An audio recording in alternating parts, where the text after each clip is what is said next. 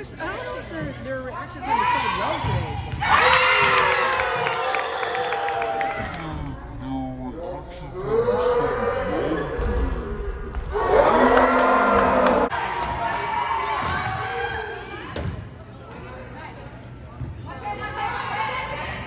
Yeah!